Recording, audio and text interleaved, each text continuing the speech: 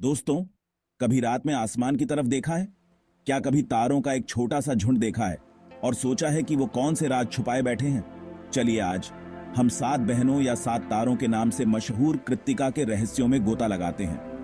कृतिका कोई मामूली तारा गुच्छा नहीं है।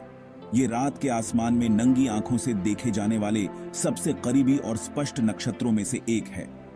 वृषभ राशि में स्थित इस समूह में गर्म नीले और बेहद चमकीले तारे हैं।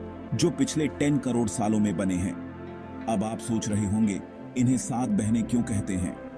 ग्रीक पौराणिक कथाओं के मुताबिक कृतिका आकाश को उठाए रखने वाले टाइटन एटलस और समुद्री अप्सरा प्लियोनी की सात बेटियाँ थीं।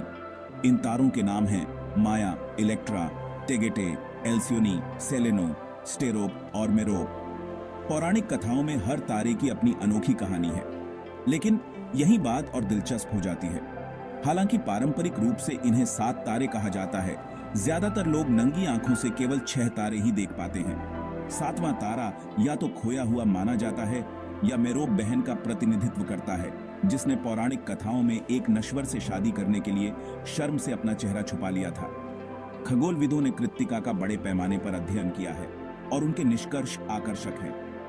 यह गुच्छा अपेक्षाकृत युवा है, जिसकी उम्र केवल लगभग टेन करोड़ वर्ष है। ये मिल्की वे में धूल के एक बादल के माध्यम से आगे बढ़ रहा है, जो तारों के चारों ओर के रास्ते को रोशन करता है, जिससे एक सुंदर परावर्तक निहारिका बनती है।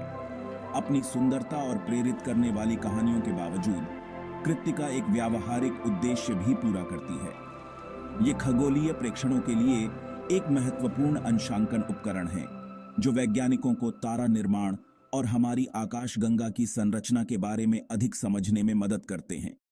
तो अगली बार जब आप रात के आसमान की ओर देखें और कृतिका को देखें तो याद रखें कि आप सिर्फ़ तारे नहीं देख रहे हैं।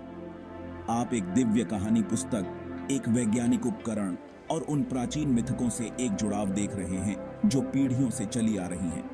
यही सात तारों का जादू है हमारे रात के आसमान में एक सच्चा रत्न, जो ब्रह्मांड के बारे में